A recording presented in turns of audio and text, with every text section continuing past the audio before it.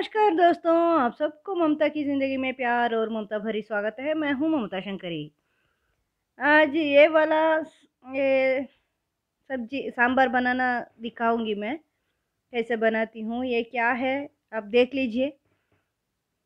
एक स्पेशल है हमारा गाँव वाला, सांभर है हमारा गाँव का स्पेशल है मतलब पूरा गाँव में, दक्षिण कन्नड़ा गाँव में ये ज़्यादा बनता है जिला में, दक्षिण कन्नड़ा जिला में। ये बताऊँगी मैं। देख लीजिए। ये हमारे यहाँ ना ये होता है ज़्यादा होता है इसका आम आम का है ये आम का सीज़न में ये बनता है। ज़्यादा होता है। ये आम है ना ये नॉर्मल हाईब्रिड आम नहीं है मतलब जो मिलता है ना ये जो मलिका होगा बंगनपल्ली कुछ भी ये सब हाइब्रिड है वो वाला नहीं है ये जंगल में हो, होता है ये आम। एक्चुअली ओरिजिनल आम है ये। बहुत अच्छा होता है मतलब टेस्टी खट्टा भी ज़्यादा रहता है और कोई कोई आम मीठा रहता है कुछ कुछ इसका जो छोटा वाला, आम का छोटा वाला कच्चा जो होता है ना छोटा क्या आप कैरी बोलते हैं, उसको हम अचार डालते हैं, साबुत, पूरा पूरा साबुत वाला आम छोटा वाला, बिल्कुल छोटा वाला, उसको अचार डालते हैं। वो स्पेशल है, हमारा दक्षिण कन्नड़ जिला का स्पेशल है, वो अचार। ये जंगल वाला पेड़ से होता है। मतलब जंगल में ऐसे ही ये इसका गुठली गिर के पेड़ बनता है पेड़ में बहुत ज़्यादा होता है। मतलब जंगल नहीं है हमारा घर का ही एक पीछे का जगह होता है जंगल जैसे होता है घर में ही। वो सब में ये होता है। ज़्यादा पेड़ होता है घरों में तो मिलता है बहुत ज़्यादा मिलता है। तीन चार पेड़ रहता है किसी किसी घर में तो कितना मिलता है? देखिए तो, तो हर घर में यही होता है आम के सीज़न में ये इसी का कुछ कुछ सांभर बनता है। इसका अलग अलग अलग अलग वैरायटी सांभर बनता है। ये एक बना रहे हैं। ये गाँव से लाए हैं। मतलब कोई हमारे फ्रेंड गाँव से ला के दिए हैं हमें। तो इसको ना धो के, अच्छे से धो के हाथ से चीलना है, ऐसे चिलना है। ठीक है हाथ से ऐसे चिल के पूरा आता है उसमें वो छिलका। ऐसे पूरा निकाल के देख, देखना पड़ता है। उसमें कभी कभी कीड़ा भी हो जाता है। तो देख के, बिना कीड़े का तो इसको ऐसे निकाल के डालेंगे। देखिए, ऐसे पूरा डालेंगे। इसको पूरा काट के नहीं डालते हैं, चाकू से काट के नहीं डालते हैं, हाथ से निकल के इसे डाल देते हैं इसको। देखिए, इसको निकाल के पीछे का जो ठीक है, इसे चिल्क निकाल के, हाथ से निकाल के डाल लेंगे इससे सांभर बनेंगे। ये हमारे गाँव में ऐसे कच्चा भी बहुत ज़्यादा खाते हैं। हम बच्चों को तो बहुत पसंद होता है वो, ये बाकी बच्चे लोगों को। हम भी ऐसे बड़े भी खाते हैं ऐसे खाने में बहुत अच्छा लगता है। खट्टा मीठा दोनों रहता है। ये जो हाइब्रिड वाला ज़्यादा मीठा ही रहता है ना, ये खट्टा बहुत ज़्यादा रहता है। इसीलिए अचार के लिए बहुत अच्छा बनता है और उसमें जो रस होता है ना, पीछे आम में आता है वो रस भी बहुत ज़्यादा रहता है कच्चे में।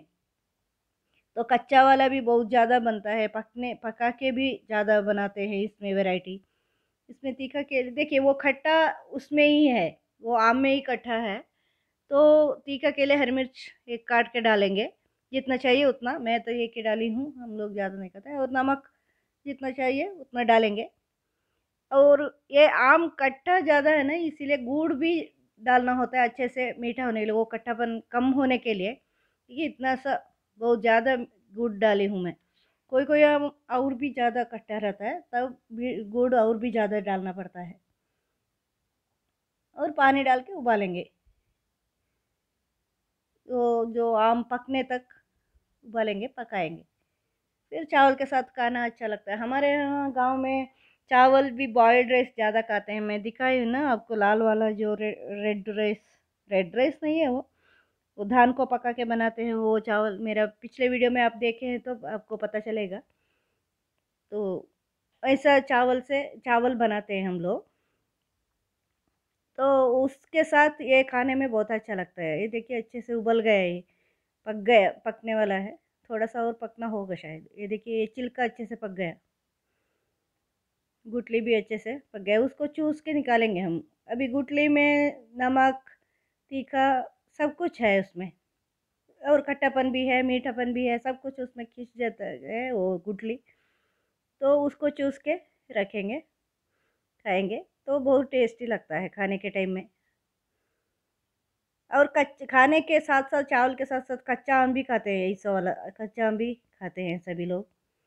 थोड़ा सा और टाइम ऐसे रखेंगे तो वो और भी खट्टा, इसका खट्टापन वो पानी में आ जाएगा और पानी का नमक का और तीखापन वो गुटली में आ जाएगा आम पे। तो ढक के रखेंगे उसको ऐसे देखिए, पूरा अच्छे से उबल गया, अच्छे से बन गया, तीखा भी है, मीठा भी है, सब स्ट्रॉन्ग अच्छे बनाएँगे तो बहुत अच्छा लगता है। इसमें एक तड़का लगाएँगे, कड़ी पत्ता डालेंगे तो बस हो गया। चावल के साथ खा सकते हैं। हमारे यहाँ ये सब कॉमन आम के टाइम में, कटहल के टाइम में ये सब बहुत ज़्यादा होता है। आम, कटहल, ये दोनों रहता है। आम का भी एक स्मेल रहता है घर में, कटहल का भी एक स्मेल रहता है। साथ में ये काजू का फ्रूट होता है, काजू वाला, वो भी एक स्मेल होता है। तीनों मिलके घर एक अलग ही स्मेल आ जाता है हमारे गाँव में। कितना भी साफ़ घर हो, साफ़ सफ़ाई रखो तो स्मेल अलग ही आ जाता है, क्योंकि सभी फ्रूट्स घर में आ जाते हैं। कटहल का भी बहुत गाढ़ा स्मेल रहता है, आम का भी रहता है। सब मिल के एक तो हम लोग एक भी वेस्ट भी नहीं करते इतना वैरायटी बनाते हैं कटहल में, आम में, बहुत ज़्यादा बनाते हैं। ये पका हुआ आम का ही बना रहे हैं हम। कच्चा आम का नहीं है, कच्चा आम का बनाने वाला अलग है। पका हुआ आम का और एक बनाते हैं, थोड़ा सा मीठा वाला चीज़, नारियल डाल के, वो भी बनाते हैं। और पायस बनाते हैं और उसका पापड़ जैसे बनता है, बहुत कुछ बनता है। ये वाला आम स्पेशली जो हाइब्रिड आम सिर्फ़ खाएँगे और कुछ नहीं है, बाकी सब इसमें ही बनाएँगे। ये तड़का उसको लगाएँगे मिर्ची, सरसों हमेशा जैसे तड़का बना के डालेंगे। तो हमारे एक एक, इसमें भी मतलब प्लेट के सामने, प्लेट में नहीं, हम लोग केले के पत्ते में खाते हैं गाँव गाँव में, केले के पत्ते होगा। उसमें खाएँगे तो वो उसके साथ साथ ये गुटली भी दस दस रह गए केक के, इसमें।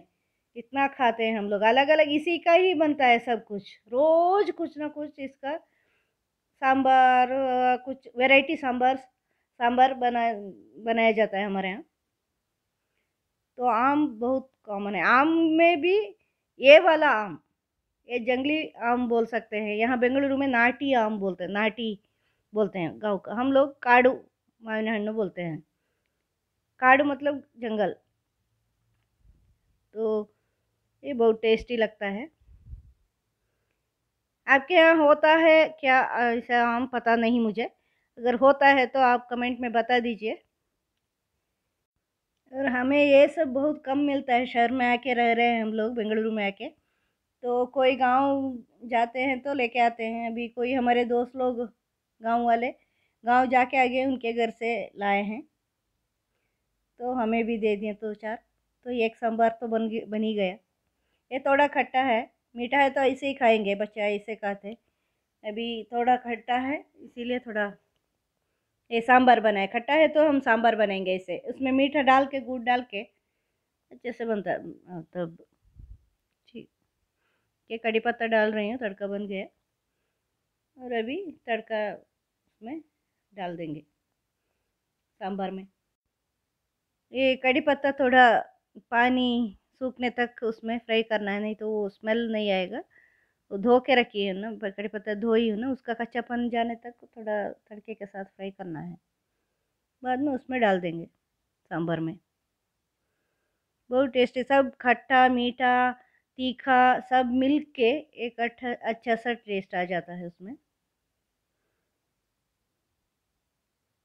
आम का गुज्जू बोलते हैं हम लोग।